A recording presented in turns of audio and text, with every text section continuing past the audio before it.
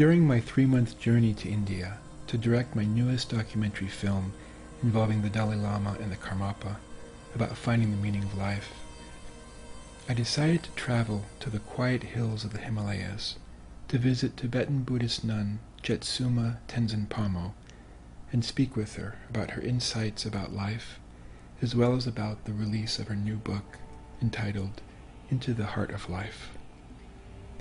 Here's a part of our conversation. Jetsunma. Hey, good to see you. Thank you. Ah, my pleasure. Yeah. I hope it all goes well and you have a wonderful meeting with His Holiness tomorrow. Thank you. Thank and you. that he has some interesting things to say. Thank you. Mm. Well, it's it's for it's for the audiences. You know, that's that's why we're making this effort. Yeah, It's good. People you know, pick up a lot when they see it. Yeah? The intention. The intention always shows. Mm. One's intention. Mm-hmm. So, thank you so much for your time. It's love. Lovely to see you. Shall we go down together? Yes, yes.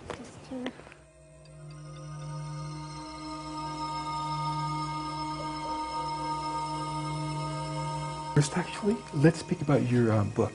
It's called Into the Heart of Life, Yes. which is a, a wonderful title. Yes, it's a nice title. We, we played around with all sorts of titles. Um, but that was one that, uh, when someone suggested it, we all zeroed in on. Mm. Because the book is also uh, about how to integrate uh, the Dharma and one's spiritual path into one's daily life and not keep them separate. So actually, it's a very apposite title. So, how did you first come up with the idea of writing your book, this particular book? Oh, well, it's not, I didn't actually write it. It's, um, again, transcripts from various talks I gave, especially in America and Australia.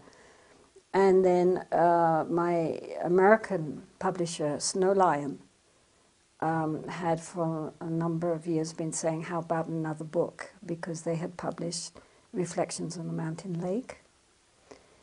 And then this very nice lady called uh, Camille, Camille Hikes, um, she is a professional editor. And she wrote and said, I would love to um, go through the various transcripts of your talks and edit them for you to put them into a book. So, um, I mean, that was enormously kind. So, therefore, the, the two um, requests came together. And so she worked very hard on that. And then after that, um, we also looked through it again. And then Snow Lion, of course, also edited it. And um, so, yeah, here it is. And it's being released around the world. Uh, well, at the moment it's being released in um, America and in uh, Australia. And apparently they've already had uh, applications from uh, uh, Taiwan and also from mainland China to translate it into Chinese. Fantastic. Mm. There's a lot of interest nowadays in uh, the Chinese population about Buddhism. Mhm. Um, and they asked me, Amanda asked me to ask you also uh, about your book, of your, of your intention in writing the book.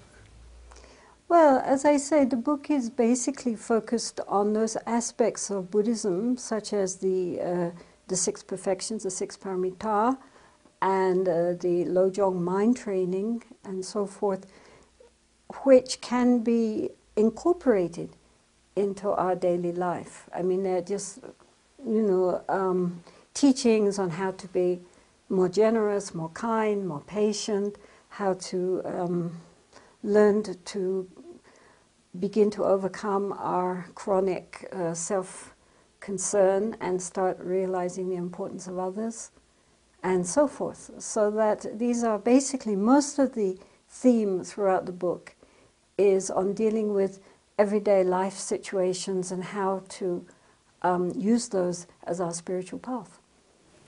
Wow, wow.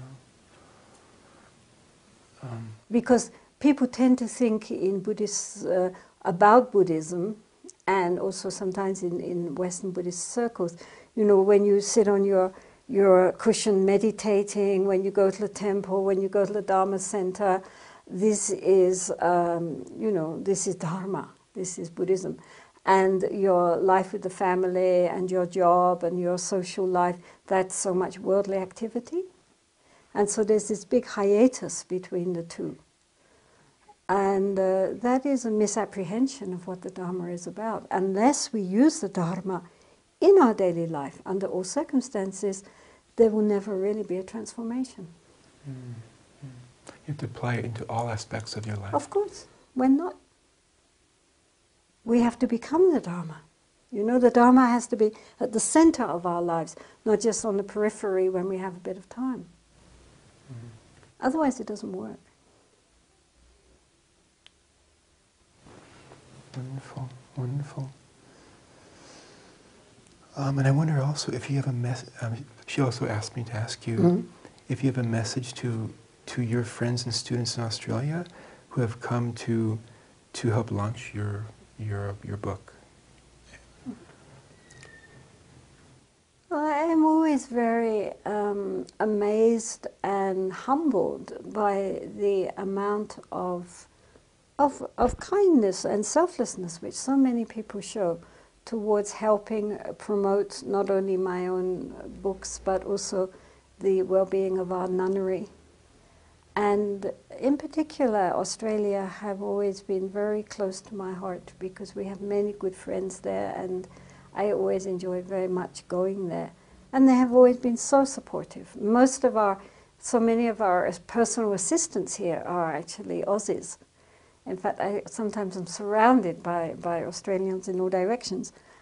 And um, I, I really am very um, deeply moved by, by their, their commitment to, to helping us right from the very beginning. Our, our very first helpers were Australians, and even now our helpers are Australians. And uh, thank you, Australia. Thank you. Thank you.